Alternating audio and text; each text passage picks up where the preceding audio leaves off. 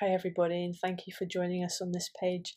Here at Twinkl Scotland, we've decided that we wanted to put together a Meet the Team page so that our users, you guys, can have a much better idea of what it is that we do and the people who do it and what our processes are and where our resources come from.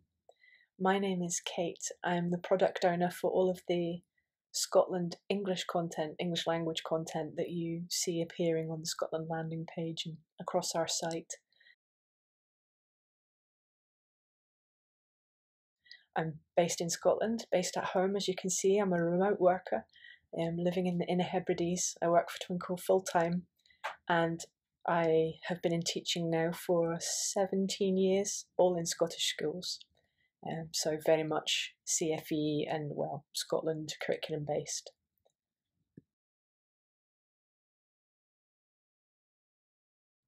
Although I still work um, in school at the moment, my role with Twinkl basically means that I get to do some research and decide what it is that we think that you as users, as our customers, uh, will be needing um, to support you in the classroom.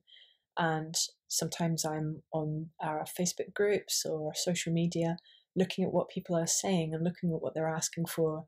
We also keep a close eye on educational policy and have a you know um, monitor what's happening in terms of government policy and local authorities and trying to notice trends and things that are interesting so that we can make our resources as useful as possible for you. Um, make them so that you want to download them basically.